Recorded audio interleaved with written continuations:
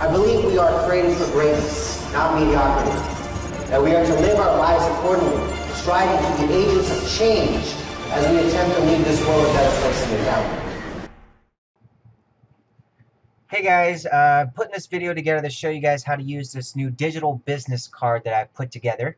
Uh, and so here's how it works. So first things first is we're going to go uh, log into your Power Lead system, of course. Hover under websites, web pages, my sharing codes. Okay, you're going to type in this code 201426-422. Then click submit. Once you do that, you'll see by Manny Lopez. Click on manage. You'll see that all you have is a very simple web page digital business card. So first thing you're going to do is you are going to copy Okay?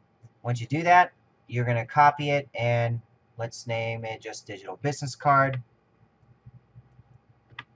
And then assign it to a domain of your choosing.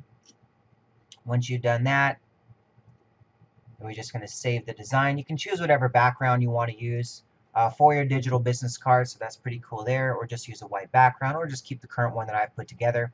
Uh, but let's take a look at how it's going to look. So when you click on View, uh, digital business card is very simple. Uh, it's mobile friendly, so that's the whole point. You're going to text this to people, and once you share it, uh, it's very simple. You're just going to have your name at the top, uh, phone number, email address. You can put in your own uh, picture, your own website, of course. I've included some graphics for the five tools and the Social Profit Academy. Uh, so if you guys want, you could just throw those right in there. and then links to the five major social media channels. So you can either just you know edit those and put in your links, take out which ones you don't use. Feel free to do whichever you like with it. Uh, but let me show you how you would edit it. So once we edit it, click on Edit Text. I like to go ahead and you know show the bigger size to make edits. So simple. You just change your name. Change the picture by double-clicking on it, choosing a picture, or uploading your own. Which, if you need help, is click on Browse Server and click on Upload. Just make sure you're in your own library. Choose a file from your computer. Good to go. Alright. Then you have phone number. As you can see, just change the number, change your email, change your website.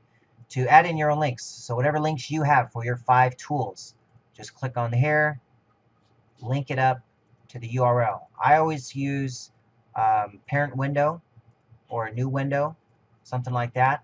Uh, so this way you're not changing out your, your link um, or not uh, losing out your link. Click out of here. So same thing, you just double click and then link it up to your own links.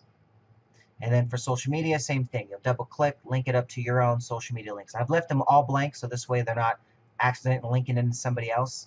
Um, so if you mess it up and you don't have it linked correctly, it just will not go anywhere.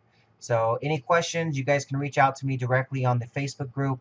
Um, uh, add me as a friend if we're not friends on Facebook and you want to direct message me. Uh, so feel free to reach out any way you feel like. But uh, that's how you do it. Any questions, let me know.